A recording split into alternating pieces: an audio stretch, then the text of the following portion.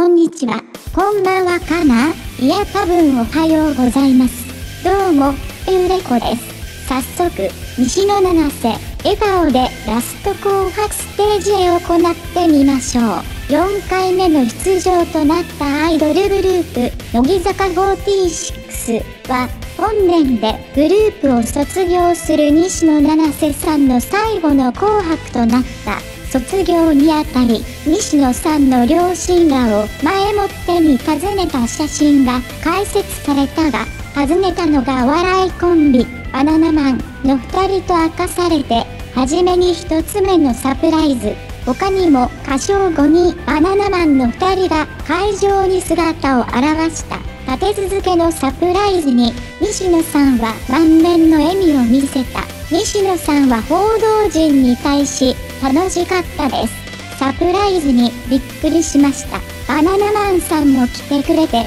幸せな思いで、年を越せるし、卒業できます。と話した、同じ坂道組の先輩乃木坂46は4回目となる。今度は長年グループの中心メンバーとして活躍してきた西野七瀬が最後の紅白ラストステージ見で心境を聞かれた西野はこうやって紅白の会見で写真を撮ってもらうケースも初めはガチガチだったんですけど現在はみんなで眩しいねとか言いながらできていたりしてここがこれで最後なんだなと感じています。と話した。西野がセンターを務めるラストシングル「帰り道」は遠回りしたくなるが選曲されたことについては1年の締めくくりですごくありがたいことですし神戸やかな感じで終われたら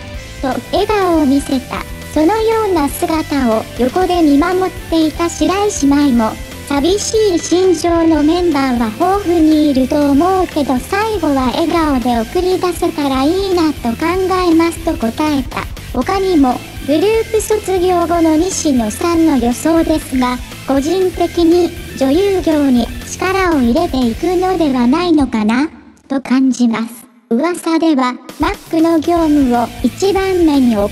ていくと情報がありますが最終的には女優として安定していく気がいたします。見た目も可憐ですし、演技力もあると感じられますので、今後の活躍に望みがあります。どうでしたか？今回もご視聴ありがとうございます。また、面白いネタなどありましたらコメントしてください。最後に、チャンネル登録していただけた